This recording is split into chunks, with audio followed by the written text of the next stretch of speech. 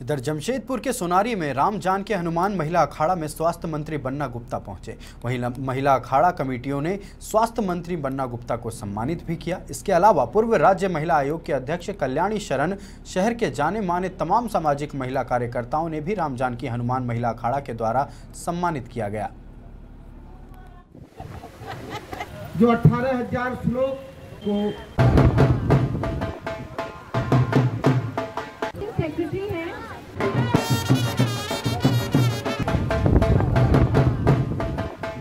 देखिए, महिला के बिना तो जीवन की कल्पना ही नहीं की जा सकती है। हम आप जितने लोग हैं, बिना हम किसी न किसी माँ के कोख में बिना जन्म लिए पैदा हुए हैं क्या? हम सारे लोगों का जन्म किसी न किसी माँ के कोख से हुआ है। तो महिला, और ये तो आप, हमारा धर्म भी यदि देखिएगा तो जब असुरों ने तांडव करना चालू किया तो माँ दुर्गा के रूप में असुरों का संहार हुआ।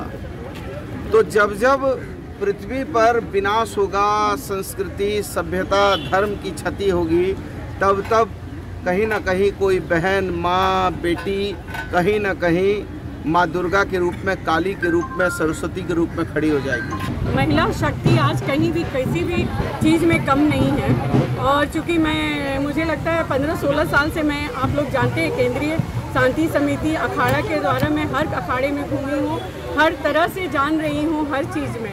तो बजरंग बली की ऐसी शक्ति मिली मैं पाँच साल से अभी अखाड़े में हूँ चूँकि रामनवमी महोत्सव है। विष्णु भगवान राम जी का अवतार लेके धरती पे आए थे। अ, सारी कष्ट और बाधा को विघ्न हरने के